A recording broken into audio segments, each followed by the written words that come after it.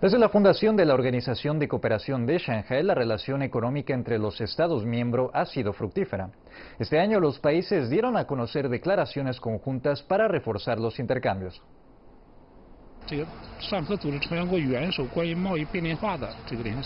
Se subrayó la facilitación del comercio por primera vez en una de las declaraciones conjuntas. Creo que Qingdao es un nuevo punto de partida. La implementación de la facilitación del comercio ayudará al desarrollo de zonas de libre comercio y reforzará la cooperación entre países miembros.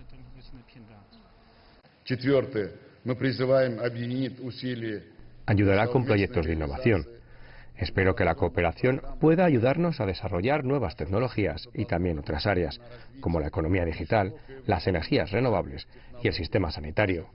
Creo que los Estados miembros podrían contar con un foro anual para discutir sobre el desarrollo de tecnologías de la información y de desarrollo de la innovación.